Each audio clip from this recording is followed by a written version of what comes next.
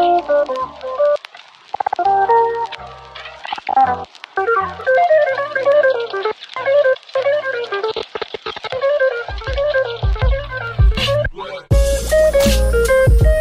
up, my friends? Welcome to the Kristof Lewis podcast, Create Your Career. This is Contemplation with Kristof, episode number 129, total episodes number 301. There are two segments within this podcast, Create Your Career. They're the contemplations, these ones where it's just me contemplating. And then there are the conversations where I interview a guest, typically a vet or first responder, proving to you, or at least that's my goal, to prove to you that it is possible to find a career that you love. I struggled with military transition. I think a lot of people do.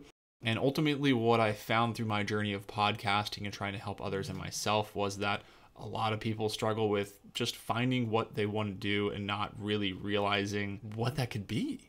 So, everything in the entirety of the podcast, the conversations, the contemplations are directed towards you finding a career that you love, being happy in the moment, and let's prove it to yourself that it is possible to be able to do it. Before we get into it, remember you can find this episode in All Things Podcast on any podcast app on audio. You can head over to YouTube and subscribe. That would be super helpful. Check out all the other guests that I've had on here and all the other contemplation episodes that I've had on here. A lot of cool episodes, a lot of user requested episodes are on there. And honestly, a lot of user requested guests have been on there. Like I said, this is the 301st episode, almost coming up on three years of podcast. And so I highly encourage you to check it out. Head over to iTunes and rate five stars and tell me what you like. Today, we're going to talk about how to get an engineering job without a degree. You could substitute that for anything. A job that calls for a degree, how to get it without actually having a degree. So let's get into it. So, in classic fashion, spoiler alert, I'm just going to say it here at the beginning. Try. How do you get an engineer? How do you get anything? How do you get any kind of job or anything in your life without the credentials?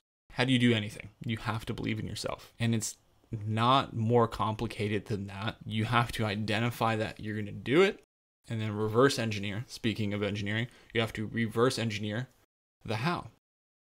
Understanding what you want to do, that's the hard part. That's what this podcast is. That's the journey of what this podcast is. What it, what do we want to do? And then how are we going to do it? The rest of this show, I'm going to talk about how I did it because I didn't think it was possible. And it turns out it is possible. Most people seem to talk. I posted about this recently, and very few people seem to take action. For me, I was able to to do this and most of the people, I don't want to say all the people, but most of the people in my life, especially those uh, in a capacity to mentor me what to do. They they wanted the best for me while I was in the military, but a lot of those folks said that I needed college or I needed to do this or needed to do that. But I had a vision and I knew how I was going to get there. And for me, it was becoming an engineer at AWS. And I will say, if you are listening to this, shout out to the, the person that hired me. But how do they do that? I identified that I wanted to do that end goal. I wanted to work there, the position I wanted to work at. And then I reverse engineered from that. I knew that I had to have Linux, for example, right? So, two years before I got out of the military, I started teaching myself Linux every single day, seven days a week. I hated doing it. I felt like an idiot, but I understood that this was a prerequisite at the bare minimum to have a pretty good grasp on Linux because that's what this job entailed. So some might say, well, why did you pick a job that you had to learn something completely? Why didn't you, like, completely new? Why didn't you go do something else? And that's a great question. Uh, for me, I, it was complicated, or I should say, it wasn't straightforward, but I had mentors that I knew uh, that I could be able to leverage to be able to help me.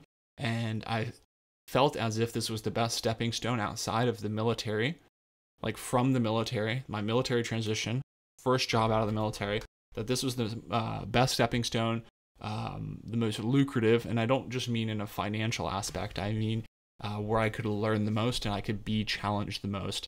It wasn't a job that I, you know, had the credentials for now. It was something that I really had to work for and it would set me up in the long term. So, a couple of things we talked about so far is just trying, believing yourself, Uh, most talk, few take action. So take action, study, study a lot. And even when you don't want to do it, just like working out, you have to do it even when you don't want to do it. And I had mentors, and I had a lot of mentors. And if those mentors are listening to this show, uh, thank you because I did it number one because I believed in myself. I did it because I had mentors. I did it because I had dedication and determination, and I studied every single day for over two years. I did it because somebody took a chance on me as well. And I did it because I worked on my soft skills by reading tons of books and having tons of conversations like this. The podcast, I firmly believe, did help me to be able to work on how I articulate myself and how to brush up on my soft skills. So there's over a handful of things that helped me get, in this case, an engineering job without a degree. A degree uh, is important, is very important, but it's not a prerequisite for success. It's not always required for success, even in jobs that require it. So some might say, how is that possible? Well, companies are smart, especially big companies, the the IT companies, the AWSs, the Microsofts, the whomever it is, they are smart and they understand that if somebody has a degree, this is a prerequisite that they have a certain bar of knowledge for. However, if somebody goes in, like me, I worked very hard at other things. Uh, the whole college conversation is a different conversation, but I worked hard and excelled at these other things. And that person that took a chance on me recognized this by asking the right questions, which is another completely conversation ask the right questions, especially on you're on the receiving end if you're looking to have somebody work with you. But if you've identified through all those questions, those soft skill questions, that this person is willing to learn and to grow, like I made another episode about how I made a crypto machine to help get me a job, and that was part of this. And that's a cool episode, actually. You should go check it out. It really helped me learn Linux to be able to get this job. So it's all tied together. It's possible. You can do it. There's a whole plethora of ways to be able to do it. Um, believing in yourself, having other people help you, and working on these things. It's my firm belief that in these situations, skills and knowledge matter unequivocally across the board. They do matter.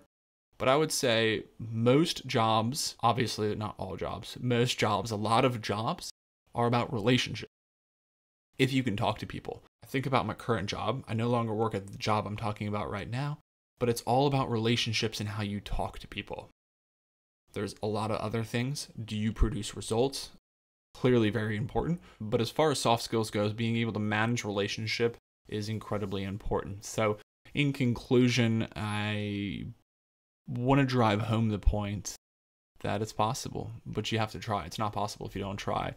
And as I posted the other day, uh, yesterday, I believe, I find that so many people talk. Uh, friends, myself. Hell, I'm not even a dime friends out and people that I've heard on social media and people that I've talked to in person. Hell, I'll just talk about me. I have wanted to do many things and I have done very few of those things. So I need to get my shit together. I have done well, but I can do better and I'm selling myself short. It's fun to have dreams, it's fun to talk about those dreams, but it's a lot harder to execute on those dreams. And ultimately, it's the hardest to achieve results from that execution, from the dream. So it's this funnel. It's an idea. You have to take action. Not all actions result in positive results. Many of it is failure, but you have to take action to have a chance of success. And I need to continue to do that. So I hope you learn from my story and you believe in yourself. You try. You find mentors you study even when it sucks, even when you don't want to do it. You work on your soft skills, you read books, you talk to people, and you keep on trying and you never give up. So thank you so much for listening. I greatly appreciate it. Remember, you can find me on Instagram at Kristof Lewis. You can head over to kristoflewis.com, head over to iTunes and Apple Podcast, rate five stars.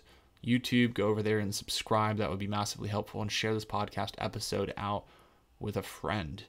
As I always say at the end of these episodes, you're not going to agree with everything that I say, and that's cool. That would be weird if you did, but hopefully you can pull one thing out of here and you can apply it to your own life, and it would get you a little bit closer to your version of success, whatever that is. Have faith in yourself. This was just an example from my life of something that I didn't think was possible, that most maybe don't think is possible because there are these certain prerequisites, but just try the worst thing you're going to do is not get it and you'll be in the same position as if you hadn't tried. It's Uh, one of my favorite quotes is this Jim Carrey quote. He's talking about his father. I believe he was an electrician, and he was a great actor, or I'm sorry, he was a great comedian as well. Jim Carrey's father, and he never tried because he wanted to be able to provide his family, and he thought it was too risky. But when Jim was a child, he lost his father lost his job, and they they may hit very hard times. So he says, Jim says, you can fail at what you don't want to do. So why not try at what it is that you do want to do? You can fail at things you like, you can fail at things you don't like. So why not try for the things that you do love? So have the best day ever, and I'll see you next week.